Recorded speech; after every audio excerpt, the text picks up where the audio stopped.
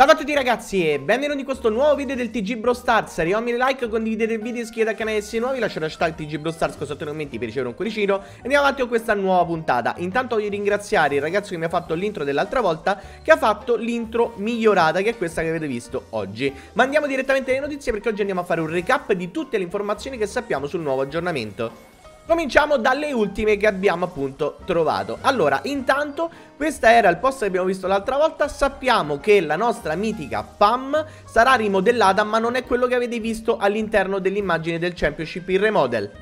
Un'altra cosa di cui siamo quasi certi è che ci sarà un nuovo brawler in questo aggiornamento perché dopo comunque l'attesa che ci hanno fatto passare sinceramente un pochino di novità si spera. Ma la cosa importante è che sappiamo che non sarà assolutamente un brawler della Trophy Road Un'altra cosa che sappiamo è che nel prossimo aggiornamento non ci sarà nessun allungamento della Trophy Road attuale e sappiamo che probabilmente hanno altre idee per la testa per creare delle progressioni alternative alla Trophy Road. Un'altra cosa che sappiamo è che queste due skin e questi due grandi creator di art sono riusciti a far entrare nel gioco Horus Bow e Demonic Bow grazie a un contest. Ora bisogna vedere se è nel prossimo aggiornamento o nei prossimi.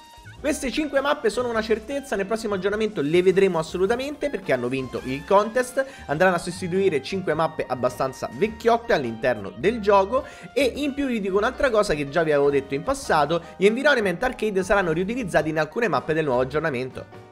Questa è una cosa che sappiamo assolutamente, queste sono le date delle prossime challenge per le qualifiche e tutto il resto che abbiamo visto nel TG passato e infatti qui ci dice che il 14 appunto iniziano le in-game challenge e il 21 marzo iniziano le online qualifiche, quindi vuol dire che l'aggiornamento o è tra queste date, quindi tra il 14 e il 21 o è prima, quindi vuol dire questa settimana.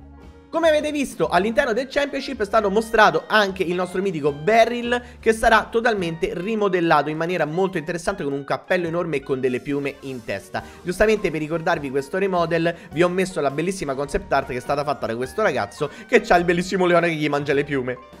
Ragazzi, siamo alla notizia del giorno, anzi in verità di ieri. Underdog, un nuovo miglioramento del matchmaking in arrivo nel prossimo aggiornamento. Andiamo a vedere insieme come funziona. L'ho tradotto Google Translate, ma sembra che abbia tradotto abbastanza bene. Andiamo a leggerlo insieme. Molti di voi hanno fornito feedback su partite che sembrano ingiuste perché i trofei di un giocatore erano più bassi di quanto dovrebbero essere. Speriamo di avere una soluzione a questo. Innanzitutto un po' di background su come funziona il matchmaking.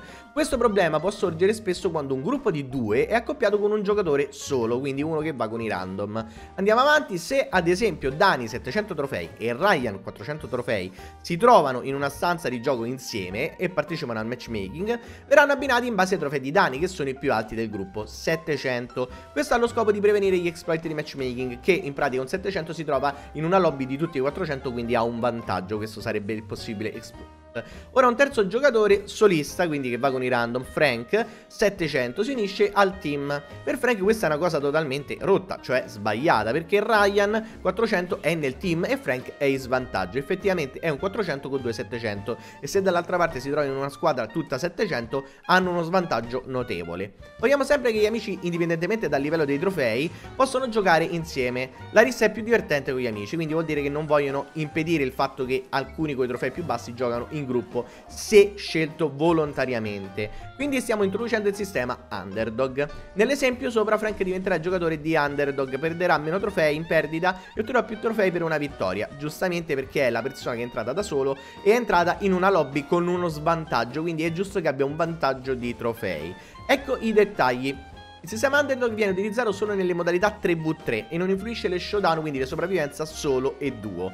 Il tuo stato di Underdog verrà mostrato quando entri in una partita, quindi sicuramente ci sarà un'immagine o un effetto grafico, e anche alla fine. Puoi diventare un perdente in due scenari.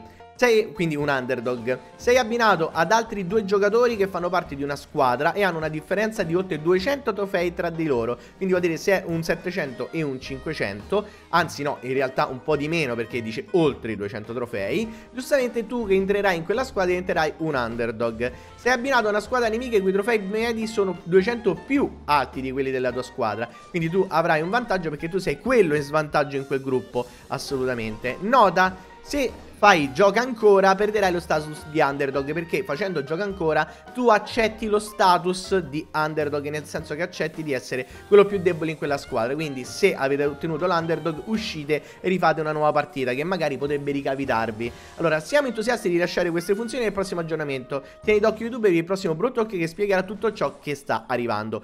Questa notizia importante e questo spoiler di questo matchmaking ci indica che comunque il Brawl Talk è molto vicino ragazzi per oggi questo TG Bro Stars finisce qui, spero vi sia piaciuto, oggi abbiamo fatto anche una bella letta insieme, quindi è durato un pochino di più, non vi metterò la clip assolutamente. Arriviamo a 1000 like, condividete il video, iscrivetevi al canale se non lasciate hashtag TG Bro Stars qua sotto nei commenti per ricevere un cuoricino e ci vediamo nel prossimo video.